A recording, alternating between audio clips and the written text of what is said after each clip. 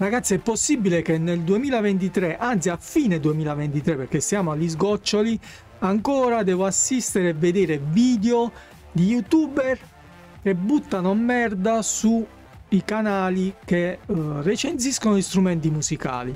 E tra l'altro questi youtuber poi nei loro video chiedono l'iscrizione, il like, l'abbonamento la cosa che mi dispiace soprattutto è che nella sezione commenti di quei video ci sono un'infinità di commenti di consenso dove tutti hanno l'idea che gli youtuber sono marchettari, che sono sotto scacco alle aziende, che le aziende li pagano e quindi uh, devono per forza dire quello che l'azienda vuole, che addirittura uh, le aziende gli regalano i viaggi e quindi mi fermo qui perché eh, ne ho sentite di tutti i colori. Allora, ragioniamo insieme su questo discorso, so che siete persone intelligenti ed educate, quindi scrivete nei commenti la vostra opinione.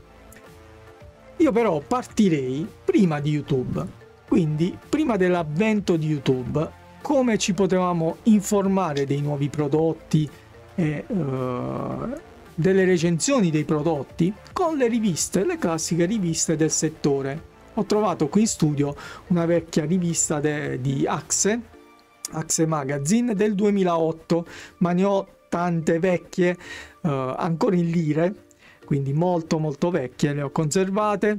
Perché prima quando uh, avevamo necessità di uh, restare aggiornati, di scoprire dei nuovi strumenti, dei nuovi pedali, dei nuovi ampli e soprattutto uh, leggere le recensioni di quei prodotti, l'unico modo era di o acquistare la rivista, quindi andare in edicola e prendere la rivista, scegliere tra le tante che c'erano, oppure recarci in un negozio sperando che il negoziante avesse tutto quello che, era, uh, che erano le novità del settore, ma è una cosa molto difficile prima come ora tranne se sono negozi enormi, ma se voi pensate in piccoli paesi o piccole città, spesso il negoziante non ha tutto.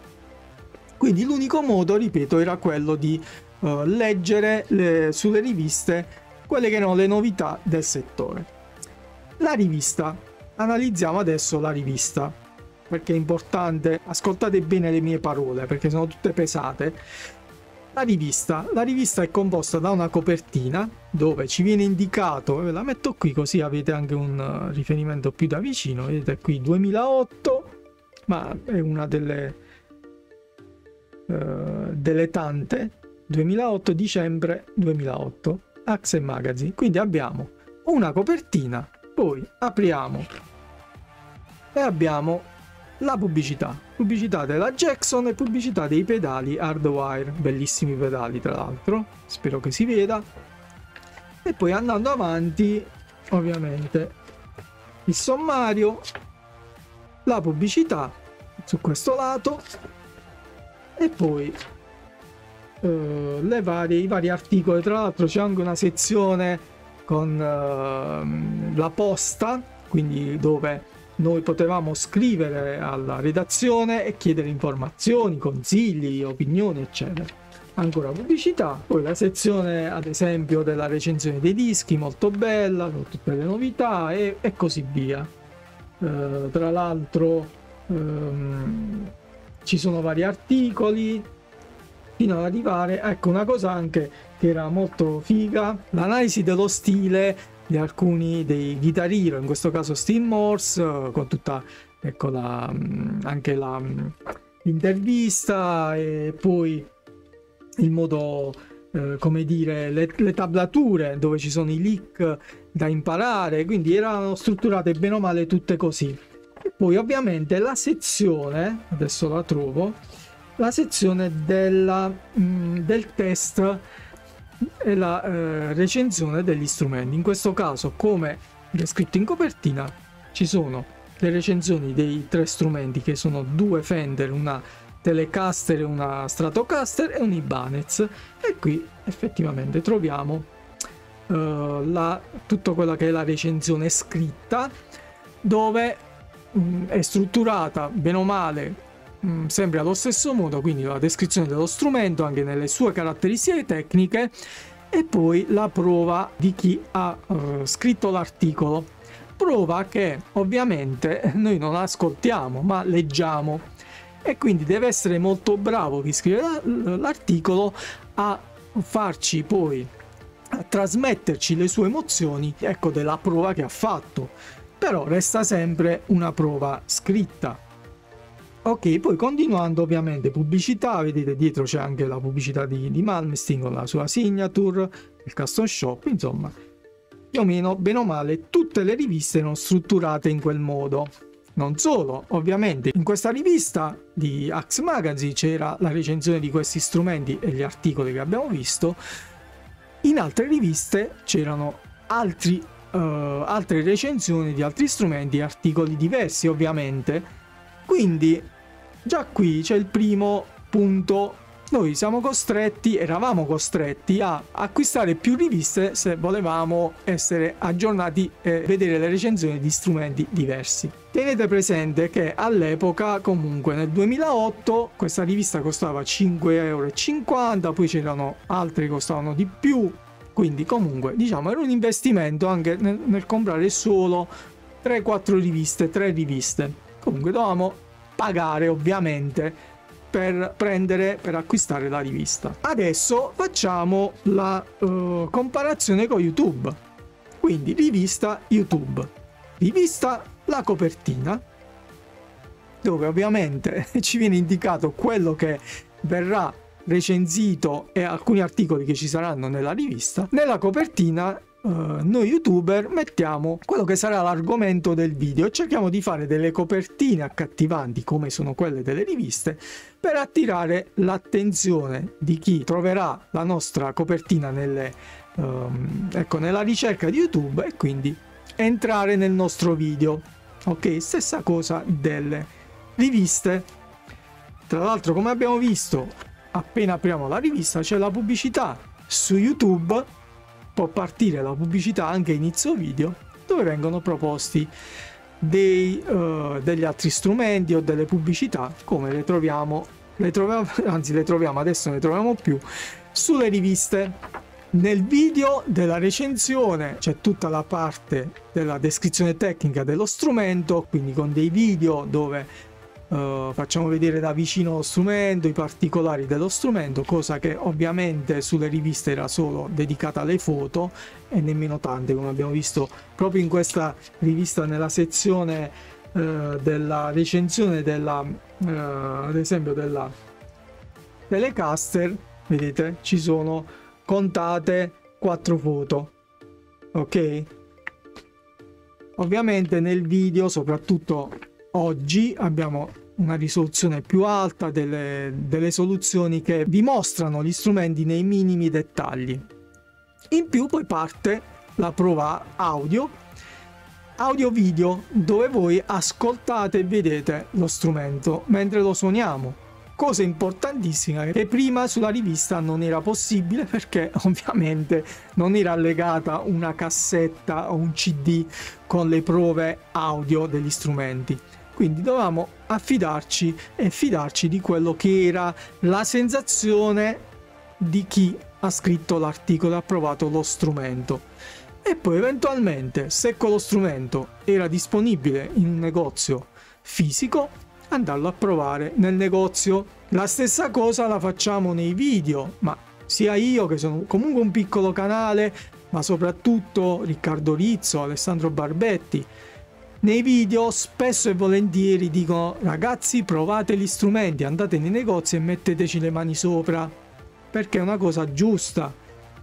Perché questo? Perché come nel caso del recensore che ha scritto sulla rivista Axe nel 2008, le sue sensazioni, il suo modo di suonare è diverso dal modo nostro di suonare, dalle nostre sensazioni, quindi è importante comunque andare poi a provare gli strumenti. Oppure internet ci permette di ordinare gli strumenti e di avere un tempo che non è nemmeno tanto limitato di testare bene lo strumento e vedere se quello strumento può fare a caso nostro altrimenti abbiamo la possibilità di rendere gli strumenti. Le possibilità ci sono e soprattutto la trasparenza di, di noi youtuber. Non dico che siamo tutti così Però ragazzi tenete presente un, un discorso.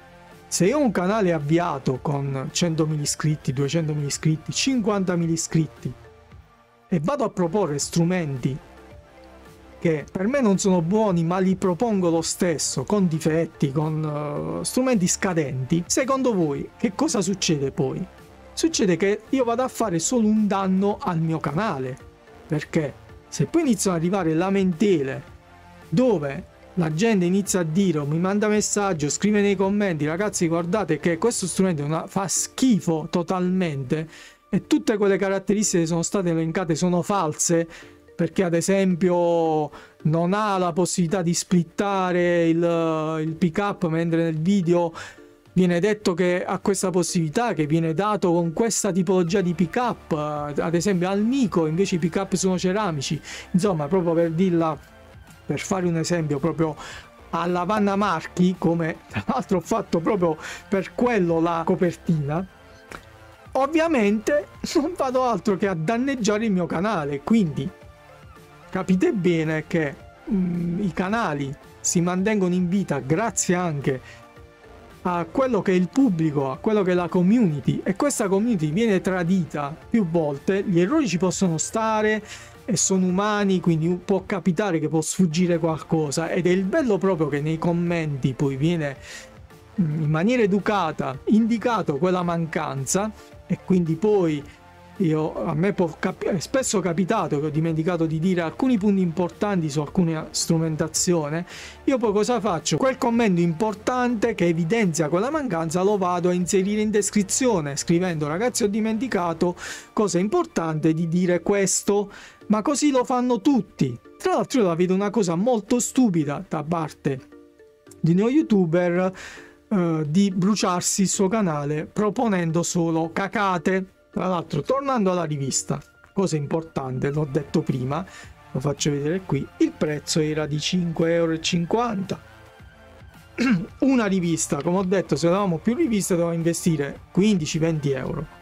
Su YouTube qualcuno di noi o, o anche i canali più grandi come GasTube o Febbre da Chitarra, quindi Riccardo Rizzo o Alessandro Barbetti, mi piace chiamarli con i loro nomi, vi hanno mai minacciato di pagare per ogni video che hanno caricato o vi hanno mai minacciato e obbligato di fare l'abbonamento al canale o di comprare i loro corsi? Vi sono mai arrivate chiamate di minaccia o ve li siete mai trovati sotto casa a minacciarvi di questo? Ma penso che insomma, sia una cosa improponibile e poco seria. Ritornando alla copertina del video.